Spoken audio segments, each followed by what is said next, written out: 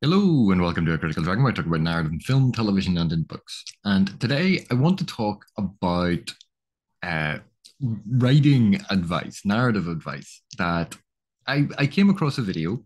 I'm not going to mention the video because I disagree with a lot of what this person was saying. But they offered five tips of, uh, or they identified five things that audiences really don't enjoy in narrative um, and this goes for readers as well as viewers, be it of TV, film, or uh, readers of books. And they offered these five points. And I found myself arguing with the video. And when this happens, it's it's usually a sign that, yeah, let, let, let's talk about this. So their, their first point was that uh, audiences hate when you mix genres and you need to signal very early on what the genres are. Otherwise, audiences will hit it. And this this is incomplete advice because mixing genres is absolutely fine and you don't need to signal very early on what each of the different genres are going to be what you need to be aware of is the types of genres you're mixing and whether or not the intended audience is going to overlap for those genres. So, for instance, they gave the they gave the example of a romance and this man and a woman they meet, they go on a date, they have this wonderful time, and just as they're sitting in a cafe and they're about to kiss for the very first time, the man is killed by a sniper and it's suddenly a thriller action movie that could work perfectly well if it was set up. But what is the audience for that? What audience are you aiming at that wants the first half of a story to be a romance and the second half to be an action spy thriller adventure? One of the examples of like really good genre mixing was from Dusk Till Dawn, uh, Quentin Tarantino. And in that movie, spoilers for the movie. It happened. It was years ago, but it starts out as a sort of Tarantino-esque, hyper-realist crime, kidnapping sort of actiony type movie. Then there's a turning point in the middle of the movie when it becomes a horror comedy, um, because everyone turns into vampires. And there's a turning point right in the movie when it suddenly just jumps genres. But the thing is, there's a, a significant overlap in the intended audience for that. A lot of the audience of Tarantino's movies will enjoy both. Therefore, the transition from one genre into a radically different genre is going to work. The audience is going to be appreciative of both genres. We see a lot of genre bending and genre blending with science fiction and fantasy because it's not that it, these things are concrete boxes that quite often they operate on a spectrum of um, assumed levels of rationality, assumed levels of mimesis, whether there are explanations given for some things, all of these different elements. So while I understand advertising what the genres are very early on sets audience expectations, that to me isn't particularly good advice. That's just telegraphing what your story is from a crafting perspective, I think it's far more useful to actually think about the genres of your story if you're writing in genre, what the intended audience has in terms of expectation and enjoyment. Who are you pitching the story to? Is there an overlap between the various elements that you're putting together? Because genre blending, using ideas from different genres or tropes from different genres, can be a great way to create originality in your work. But you don't just mash them together stupidly, as in the example that this person gave, because that that was ludicrous. So the the advice on this one, I think, is be aware of audience expectations, be aware of what your intended audience wants to see in a story, the overlap between genres are they very far apart? Romance, um, soft, gentle romance versus spy thriller. you can certainly do a romantic spy movie. Um, you can do a comedy action spy movie with romance elements. All of these things can happen, but you just have to be aware of how you're blending them. And you don't just put two different stories together and expect the transition to be fine. The next was they referred to inconsistent pacing. And before I even listened to the point, I had to stop because by definition, pacing should not be monotonous. And therefore you, you don't want you don't want to use the term inconsistent. Pacing shouldn't be the same all the way through. There should be variation. And when they went through to discuss their point, what they meant was don't start fast, then have a really long, slow section in the middle, and then suddenly ramp up the end. What they mean is be aware of how your story is paced. Be aware of when you've had a breathless section that people have rushed through, that they might now need a breather, they need to relax. But if you draw that section out too long, people can become bored it's be aware of pacing. It's not about consistency or inconsistency in pacing. It's being aware of the movement and speed of the narrative, the narrative events. And where you have slower sections, you don't necessarily need to intercut them with action to alter pacing. That's one way of doing it. You can change sentence lengths to reflect changes in, in motion and movement because that gives the reader a sense of speeding up but also you can ratchet up tension. Um, you can change the atmosphere and have increasing levels of dread. So it's a slow section, but the dread is slowly building. If you're altering pacing, remember that pacing is not a separate element to content. How a story is told and what is being told are related. So pacing and content should be a package where one is supporting the other. And I think that is a, a, much more useful way of approaching this instead of thinking about it mechanically of I want a fast section, I want a slow section. It's thinking about it in terms of how your reader is progressing through it or how your viewer is approaching the movie. And how long have you drawn out this section? How is it slowed down? Do we need more action here? Do we need more emotion here? Do we need more dread? Do we need something to energize it a bit? Because each of those different elements can be used in different ways to alter the perception of the reader, to um, entice reader engagement. It's not just about the mechanics of pacing, it's about content as well. Their next point was about unnecessary recaps. And again, I had to stop here because by definition, if the recap is unnecessary, it's bad. What they went on to describe is when an author basically stops forward momentum in um, presumably a plot driven story to recap previous sections and does it for a whole chapter, multiple chapters, where they're just retreading ground from report uh, from before. Repetition. You go, right, fine. Like, of course that's going to be bad. But recaps by definition aren't bad. If it is unnecessary, yes, then it is bad because why would it be unnecessary? Because your reader already knows this, your reader has already retained this. So, personally, I think better advice in this is to be again aware of your audience, be aware of your intended audience and their ability to retain information. How heavily signaled was this information earlier? Was it overtly stated, in which case it it should be knowledge that they have in the back of their head. But as a rule of thumb, the younger the intended audience, the more complex the information, the more likely you are to have to find different ways to recap, to reintroduce, or reiterate information that was previously given. Conversely, the older your audience or the less complex the information, the less likely you are to have to recap or remind your audience of the information they've already received.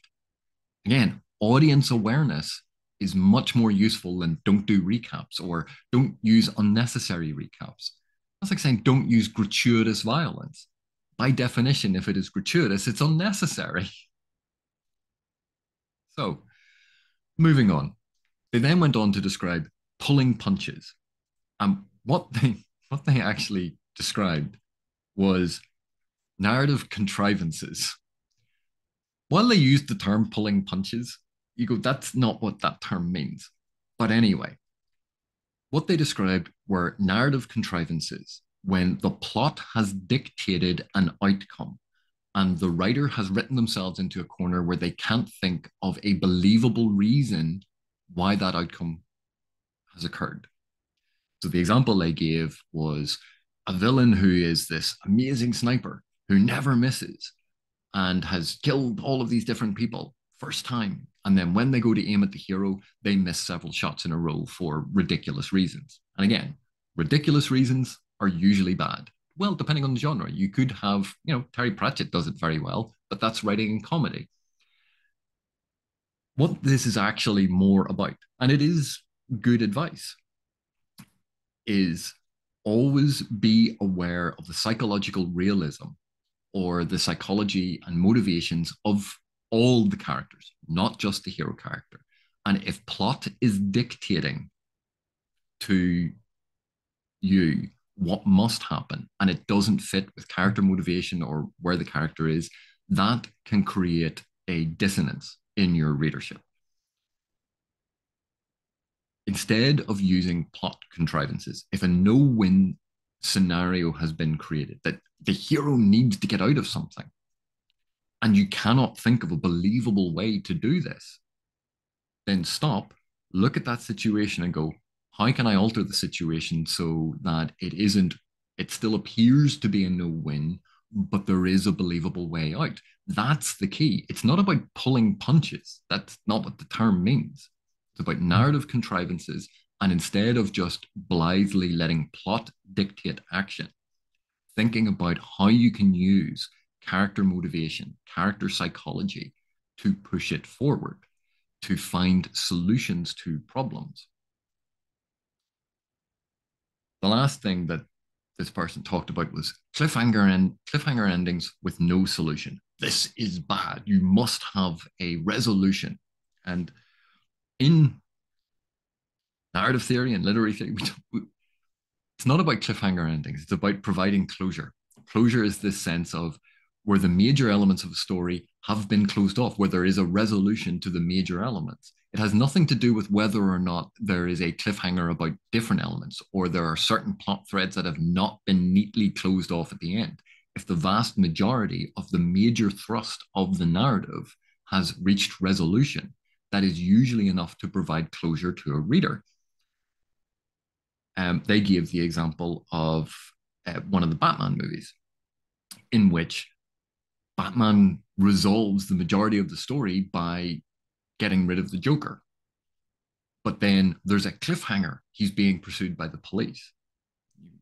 But that's a separate story. That's setting up the next story or a different story. There is closure and resolution to the main narrative, which is the confrontation with the Joker. So, what this is actually about, it, it very little to do with cliffhangers. It's the concept of closure. And again, paying attention to what effect you're trying, trying to generate in a reader or in a viewer. Think of the film Inception. Inception ends on a clearly ambiguous ending about did the character find the result that they wanted, or is it all a dream? Is it all still a fabrication? And that's left unresolved at the end. And people argue about it endlessly. But if you think of the major aspects of the narrative, the entire heist, that was resolved. All of these things happened. We followed through the action. There was a resolution for the main things.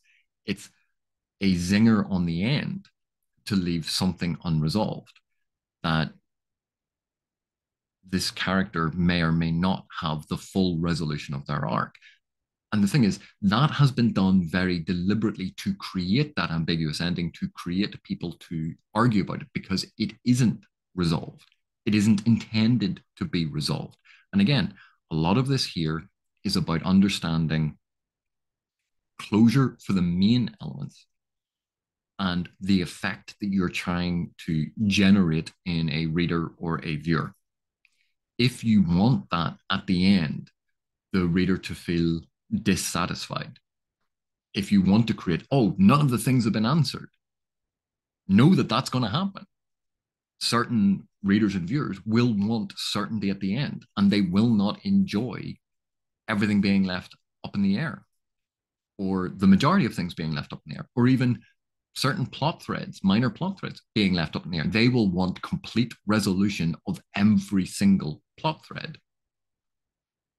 So if you're not going to do that, be aware that some people are going to be dissatisfied. As long as you provide the majority of closure for the majority of the narrative, the majority of your readership or viewership will appreciate that. That, I think, is a much better way of approaching this than going, oh, with cliffhangers, um, yeah, this is about cliffhangers. It's not about cliffhangers. It's about resolution and closure of the narrative. And closure is a well established concept. But anyway, this this video was simply because a lot of people give writing advice. A lot of people talk about the rules of writing. And yet, rules without understanding context are rarely useful understanding who your audience is, understanding what type of narrative that you are trying to communicate, understanding the effects that you are generating in your audience, and understanding that all the different elements of narrative work together. These are principles that, if you're aware of those things, then you're more likely to craft a successful, interesting narrative than if you just rigidly apply rules and go, oh, well, cliffhangers, you, you must provide resolution. No, you don't. It depends on the effect that you want to create. Oh, you can't have narratively contrived situ- situations because that's pulling a punch. You, no, overly contrived situations, again, overly, are bad because it's too much. It's going to disrupt the suspension of disbelief this willing suspension of disbelief is important in narratives that we try to immerse ourselves in. But again, it depends on the effect that you're trying to achieve.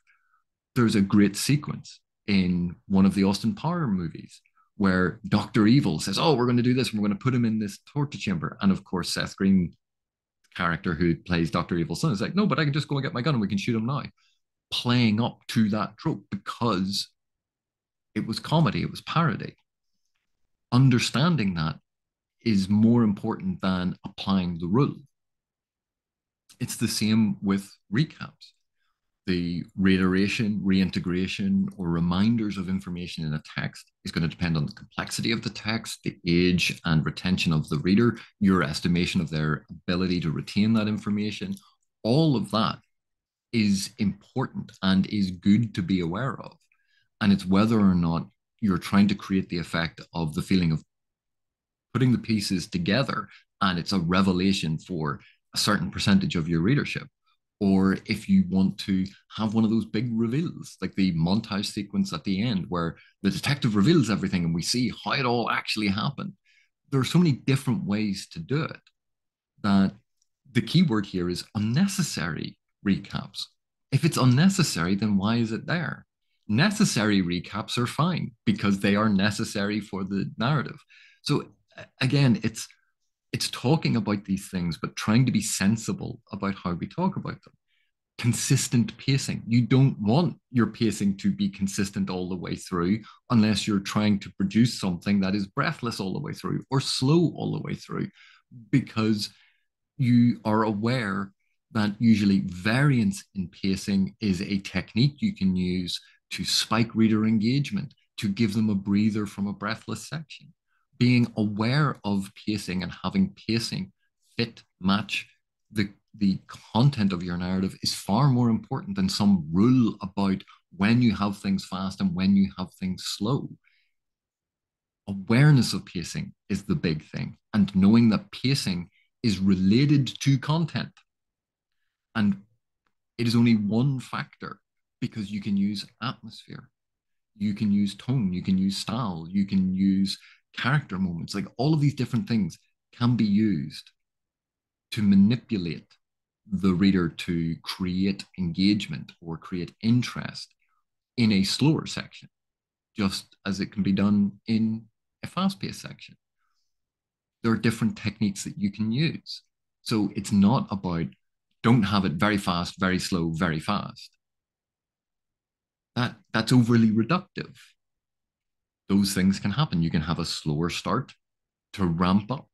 All of these are different styles, different techniques. They suit different narratives.